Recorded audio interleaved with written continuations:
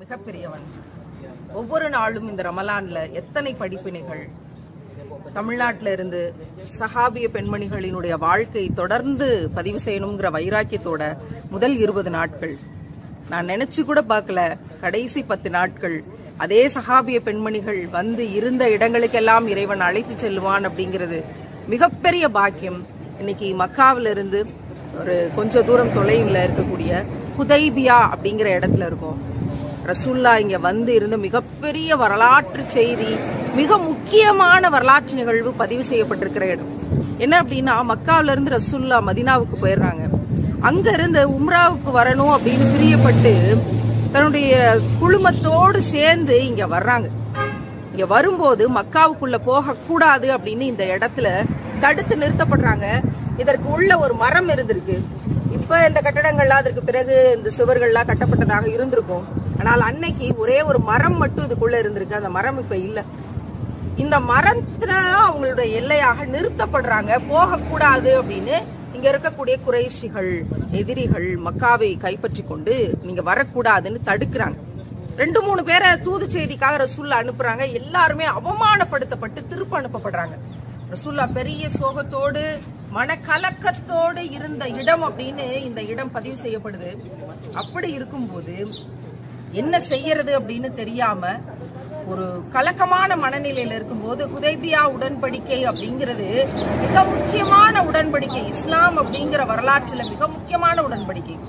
ஏன் மிக முக்கியமான உடன்படிக்கைன்னு சொல்றேன்னா குறைச்சிகள் சொல்றாங்க உங்ககிட்ட வந்தாங்கல்ல இஸ்லாத்தை ஏற்றுக்கொண்டு அவங்க எல்லாத்தையும் நீங்க எங்க பக்கம் திருப்பி அனுப்பிடுங்க மிக முக்கியமான செய்தியை சொல்றாங்க. எங்கள்கிட்ட வந்துடணும் அவங்க இஸ்லாத்துல இருந்து வெளியேறி வந்துடணும் ஏன்னா அவங்களோட அம்மா அப்பா அவங்களோட சொந்த பந்தங்கள்லாம் இங்க இருக்கிறாங்க.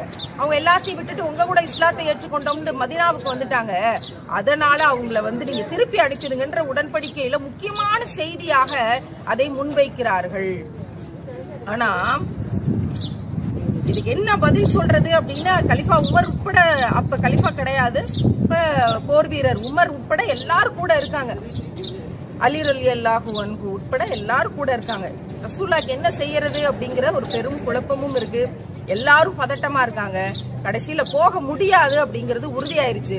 பத்து பதினாலு விஷயங்களை வந்து கொடுக்குறாங்க உடன்படிக்கை அப்படின்ட்டு. அப்ப இப்படி நடக்கல அப்படின்னா ஒரு பெரிய விபரீதம் நடக்க வாய்ப்பு இருக்கு. அதை மீறி போனா பெரிய விபரீதம் நடக்க வாய்ப்பு இருக்குன்ற சுச்சுவேஷன் நல்லா யோசிச்சு பார்க்கணும். இந்த இடத்த யோசிச்சு பார்க்கணும். ரசூல்லா அந்த உடன்படிக்கையில கையெழுத்திடுங்கள் அப்படிங்கிற முடிவுக்கு வர்றாங்க. அந்த உடன்படிக்கையில கையெழுத்து போட்டு கொடுத்துருவோங்கிற முடிவுக்கு வராங்க. அப்ப கூட இருந்த உமர் அவங்க எல்லாம் ரொம்ப கோவப்படுறாங்க. நீங்க ரசூல்லா தானே? நீங்க ஏன் இவ்வளோ வந்து சந்தேகப்பட்டு இவ்வளவு போக முடியாதுங்கிற மறுக்கிறதுக்கு ஏன் வரணும் அப்படின்லாம் கேக்குறாங்க. பிறகு ரசூல்லா கையெழுத்து போட்டுறது திரும்பி போகிறது அப்படிங்கிற ஒரு முடிவெடுக்கிற உடன்படிக்கை இங்க நடந்திருக்கு. ஒரு விஷயத்த ரொம்ப கவனமாக இந்த இடத்துல இருந்து யோசிச்சு பார்க்கணும். ரசூல்லா எவ்வளவு மனக்கலக்கத்துல இருந்திருப்பாங்க.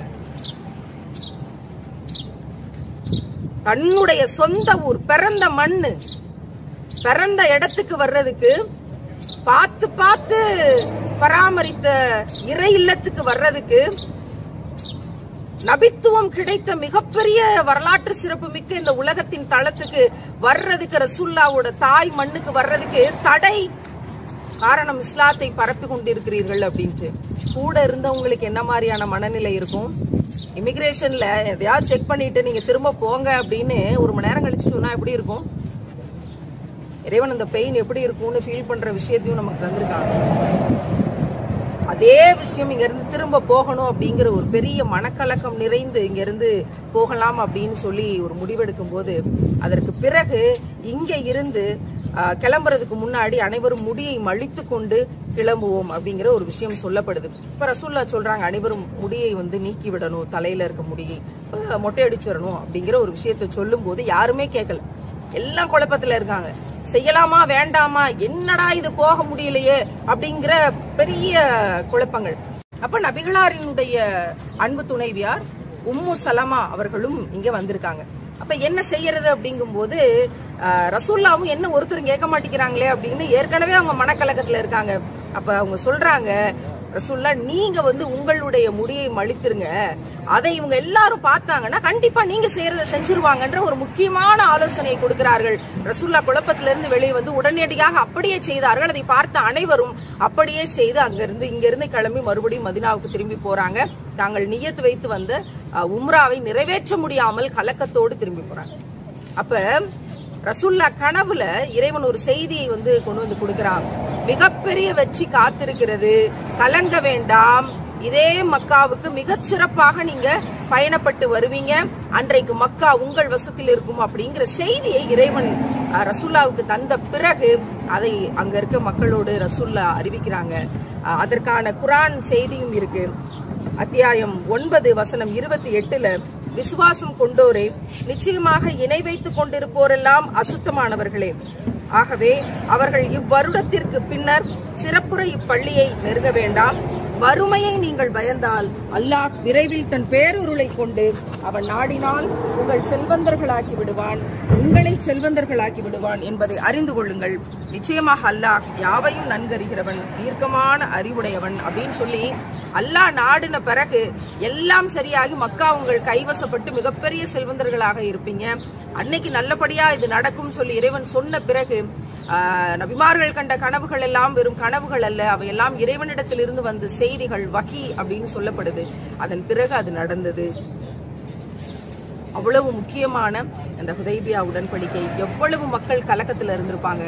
இஸ்லாம் என்பதை ஏற்று தங்களுடைய அமல்களை நிறைவேற்றுவதற்காக இந்த பூமிக்கு வர முடியவில்லையே அப்படின்னு எவ்வளவு பேர் கலக்கத்தில் இருந்திருப்பாங்க.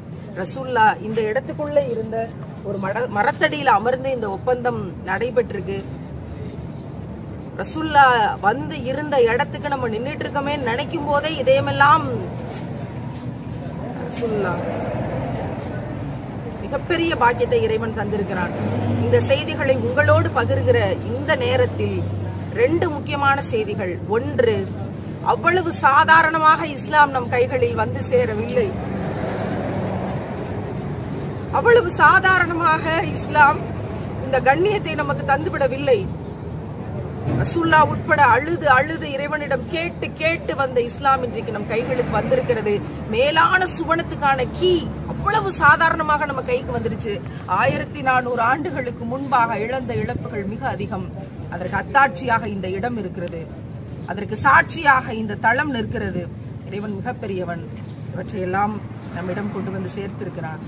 இந்த படிப்பினைகளோடு நகர்வோம் இந்த படிப்பினைகளை தொடர்வோம் வல்ல ரஹ்மான் அனைத்து ரசூல்லாவின் உம்மத்துக்களுக்கும் சிறந்த பாக்கியத்தை தந்திருவானாக ஆமீன்.